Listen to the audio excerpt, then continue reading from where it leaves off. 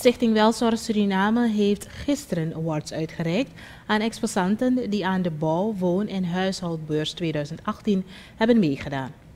Volgens Wirish Gangram Pandey, voorzitter van Stichting Welzorg, kregen vijf exposanten die extra zijn opgevallen tijdens de beurs een award. De organisatie, de exposanten zelf en de bezoekers hebben evaluatieformulieren ingevuld om hun ervaring van een stand aan te geven. Alle antwoorden en punten zijn opgeteld en hebben de vijf beste exposanten aangetoond. Zij mochten gisteren hun award in ontvangst nemen. Het is geen contest, dus het is niet zo dat wanneer we vijf beste hebben uitgeroepen dat de rest niks heeft gedaan. Nee, dat is het niet. Het is gewoon een extra stimulans naar de ondernemers toe om dan uh, hun best te doen de volgende keer. En ook te zien waar ze in principe kunnen bijschaven op de volgende keer. Net wat ik zei, de vorige editie hebben we hier gedaan. Het was een groot succes. We gaan het dit jaar uh, in dezelfde vorm doen. De bouw- en huishoudbeurs. Uh, veel vragen hadden we vorig jaar gehad van ja, maar huishoudbeurs erin mini. Gaat het dan niet worden als, als, als de andere beurzen, dus dat het vervalt naar een, of niet vervalt, dat het een, een marktkarakter krijgt. Want men hoort dan huishoudbeurs. Dus.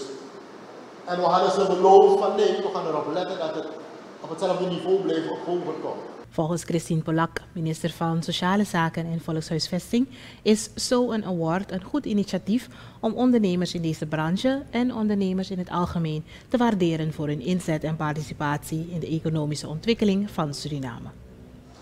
Ondernemerschap is geen gemakkelijke taak.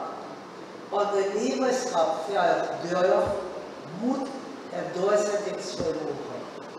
Ondernemen is vallen, leren, maar weer opstaan. Er is geen ready-made bloder voor ondernemers. Er zijn een hoop hobbels op de weg.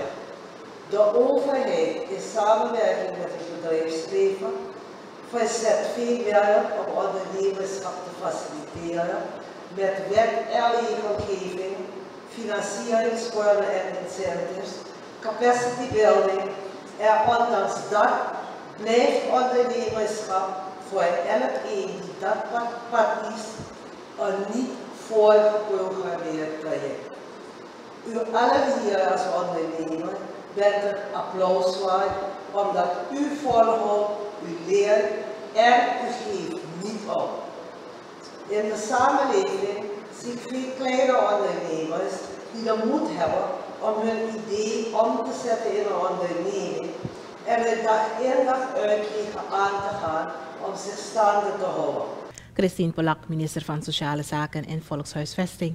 Zij sprak gisteravond tijdens de awarduitreiking van de vijf beste exposanten tijdens de Bouw, Woon- en Huishoudbeurs 2018. De awarduitreiking vond plaats in de KKF Beurszaal.